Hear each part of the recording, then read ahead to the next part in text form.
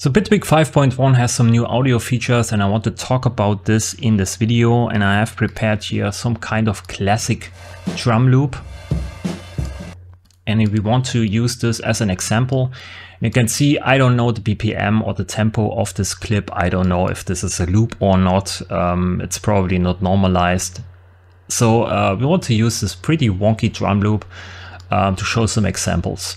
So here, first, when you import a WAV file or audio loop inside of Bitwig Studio, you have usually on the left side some kind of stretch mode already defined. It's the default stretch mode. For me, it's raw. Uh, and you have to select here, of course, the audio clip to see this. So you can see mode raw. Uh, but you can change default stretch mode by going into the settings here uh, and then behavior, default stretch mode, long samples raw, short samples raw, on record bounce, stretch HD. And you don't need to change this. I just want to show you this that you can change it here. And it depends on how you use Bitwig Studio, what kind of music you do and what kind of samples you use most of the times. So for me, it's raw. It's basically unstretched, but you can change it here to all kinds of different stretch modes, uh, stretch modes we have inside of Bitwig Studio. Okay, so this is now raw. And we want to fit this to our tempo, to our project tempo, which is the default BPM here, 110 BPM. And we go into the detail editor of uh, the audio clip here. We can do this by maybe double clicking to see it in the bottom half, or we can use shift tab, or for me, it's actually just tab while selecting this here. I go into this detail editor, or you can use down here, you can switch from arrange to edit. You can see here everything in detail, right? So now that we are in this audio clip here, you can see we have audio events selected and this is only one audio event in this audio clip. You can have multiple audio events in one audio clip. This is kind of special, I think, I think inside of Bitwig. Uh, but here we have just one audio clip. So uh, also on the top, you can see some triangles here in blue, which basically are the markers for the onset detection or the transients. So every time you drag in an audio file into Bitwig, uh, it tries to find transients and mark them with these triangles or with these onsets. You can also switch here to onsets to, to see that better. Um, you can see the triangles are now bigger and we have this line here to see where the transients are. We also have here different intensity of the color, right? We have a deep blue, we have a lighter blue, and then here mostly opaque uh, blue. Uh, and this kind of marks the intensity of the sound, right? The kick drum is probably the loudest, then the snare drum is a bit quieter, and then the hi-hat is almost um, super quiet. So um, that's that's what you can see here with these kind of uh, uh, brightness levels.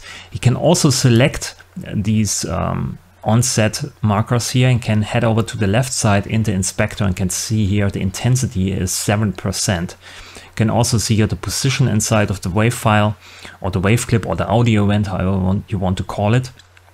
Uh, this audio, uh, this onset marker here has 26% and this one has 69%. So it's the kick drum is probably the loudest one.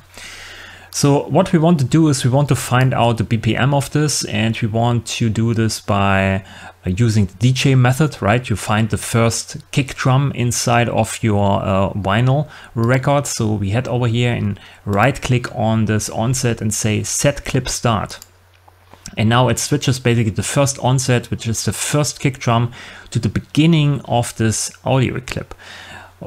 It doesn't actually cut here this offset or this padding of this WAV file.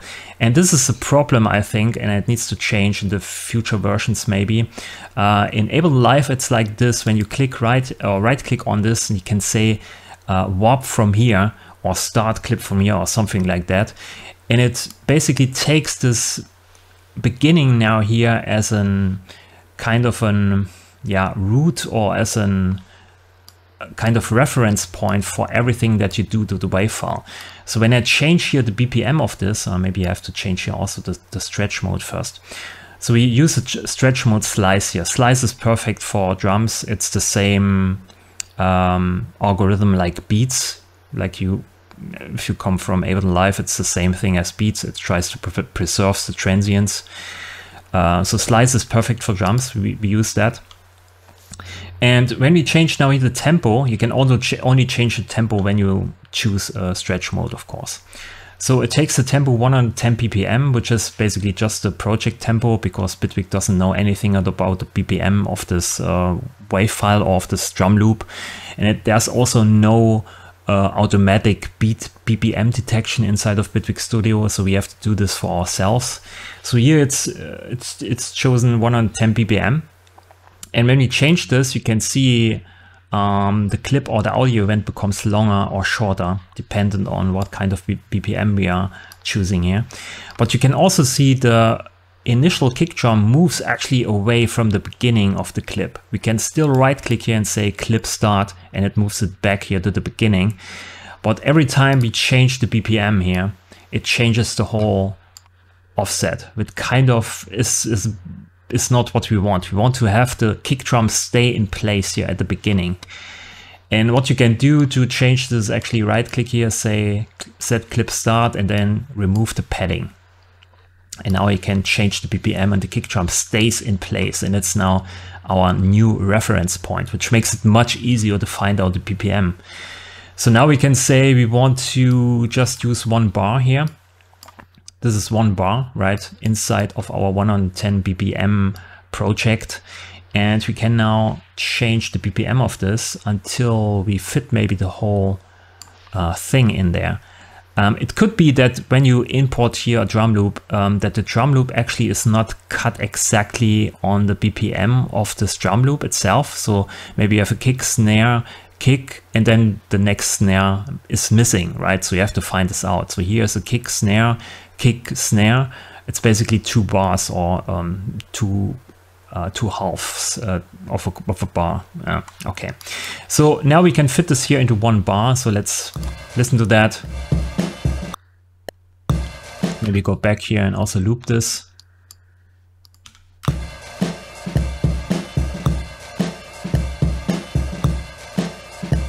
So it already fits, so it's probably 87 BPM. That's the BPM of the original drum loop.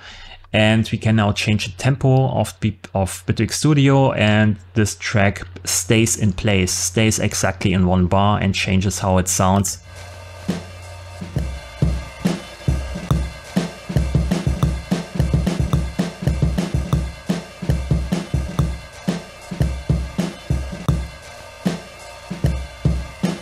And when you put this tempo here pretty much to 20 BPM.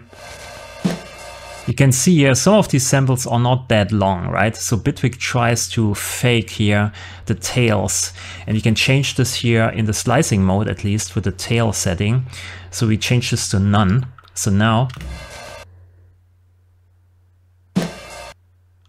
there's no tail. It just plays or slices these uh, individual single hits and then plays these hits in its original tempo. Um, but then it becomes shorter because we have now 21 BPM here, so there's a lot of space in between the beats, right? So there's something missing, and with the tail setting, we can say what Bitwig uh, should do to actually fill that space. We can use ping pong, which is basically just using the last bit of this sample and play it back, back and forth until the space is filled. Right, you can hear it playing, playing it back and forth. Or you can use granular.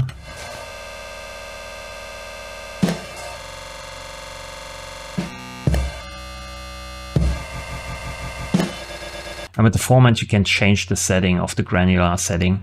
Um, so it tail basically tries to fill the space when there's a gap when you pull the BPM down and there's space between the, uh, the onsets or the slices.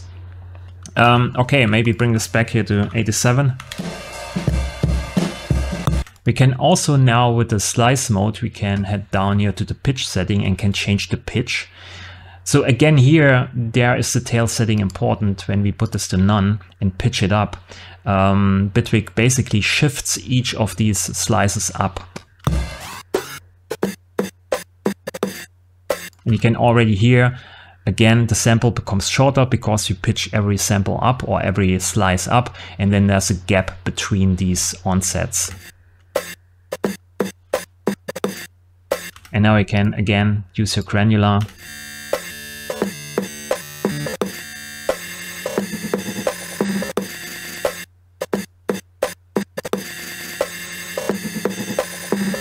to fill the space.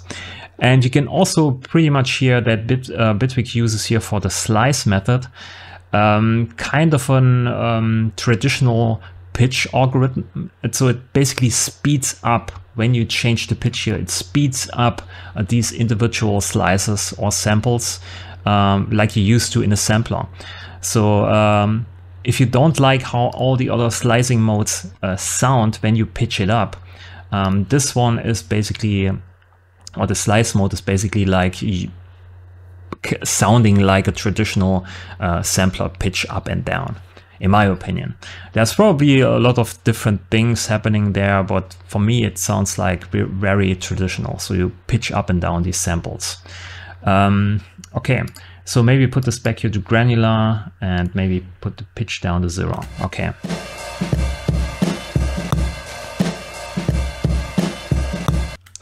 So now the problem is uh, some of these slices are or onsets, as you can see, are not exactly on point here. The snare drum is a bit earlier. It needs to be on 1-2, right? And 1-4 here needs to be also the snare. So it's a bit off and that's pretty normal because it's a drummer. A drummer blade is in, so the drummers are usually not that precise. Some drummers are, but these are classic drum loops. They are probably also recorded from a vinyl record, which is not that precise and a bit, bit wonky here and there. So we can use here the stretch mode to put in some uh, stretch markers. So we can use here with a double click in the bottom half of this. Oh, it works also in the, in the top half. Okay. You can put in slice markers here at any point. Um, and then put these slice markers in, then move them around, right? And you can basically offset the whole um, audio clip or audio event.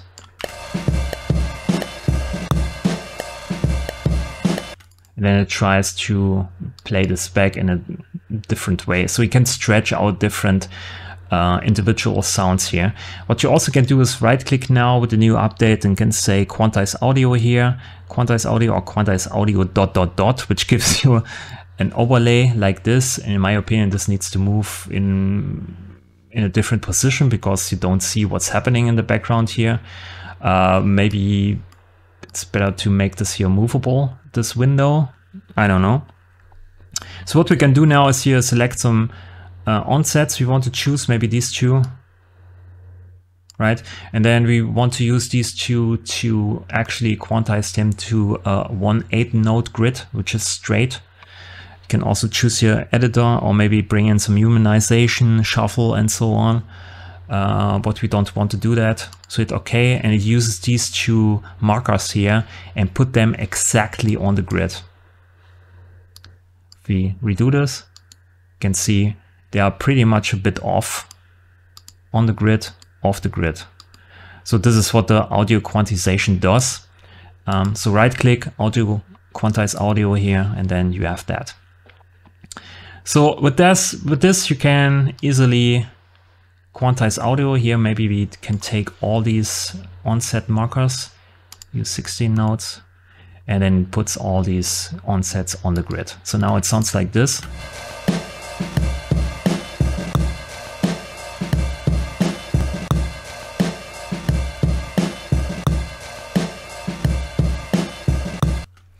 Okay, so back to the arranger here.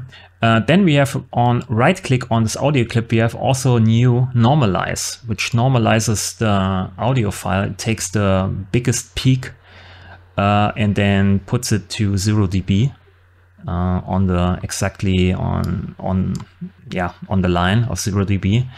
And uh, what's also new is that it's not destructive, so it's not calculated into the wave file. It just changes here on the left side the gain setting. So right click, normalize, you can see it's now 0.5. You can change the volume at any time and repeat that, right click, normalize. You can also define a hotkey for this, of course, in the settings, or you can select this, go here to clip, use normalize, or you can pin it to the main menu. This is what I did here. You can see now here this normalize button. So every time I select the audio file or audio clip, I have this button here. Then I hit this and can change the volume, normalize, change volume, normalize. So finally, after seven years, I'm quite emotional about this, that we have finally some normalization options for audio clips inside of Bitwig Studio. Uh, I could cry, to be honest. Um, so back here in this detail editor, uh, we can also do something like now uh, slice in place. And we can use onsets to slice actually this one big audio event into multiple audio events. We can also use here the threshold if we just want to select some of them slices, but I want to select all slices, so I hit OK. And now you can see instead of one audio event here, we have multiple audio events. And with this, you can select all these audio events and can say right click normalize or use here the normalize button, I think, event, pin it. Yeah. Use normalize here. And you can see it now because we have multiple audio events, it takes each of these audio events separately and tries to normalize them, right? So it's not like one big file, uh, one big audio event and then take the biggest peak of that. No, now it takes each individual drum hit and normalizes this drum hit individually, separately. So here it makes no sense because these are kind of ghost notes, so they need to be a bit quiet, so I can turn this down a bit here.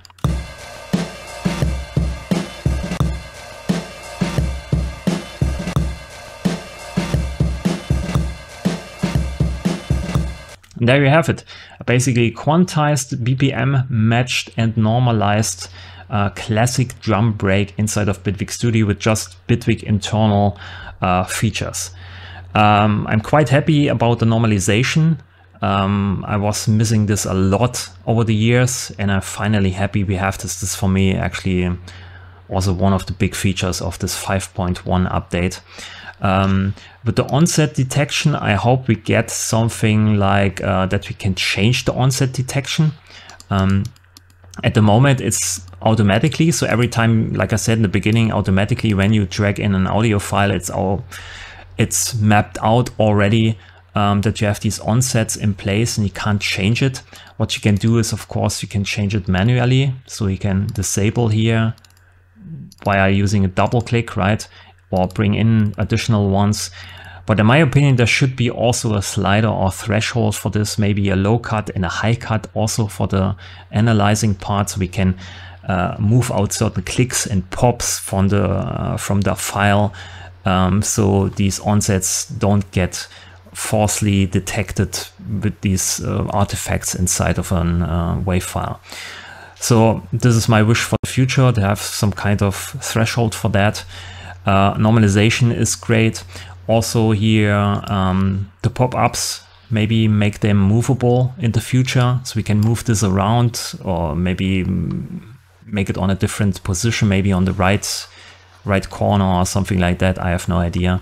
So nice features all around in this new update. And that's it for this video. Leave a like if you like the video, subscribe to the channel and ask some questions in the comments below or tell me where I'm wrong. Thanks for watching, see you in the next video and bye.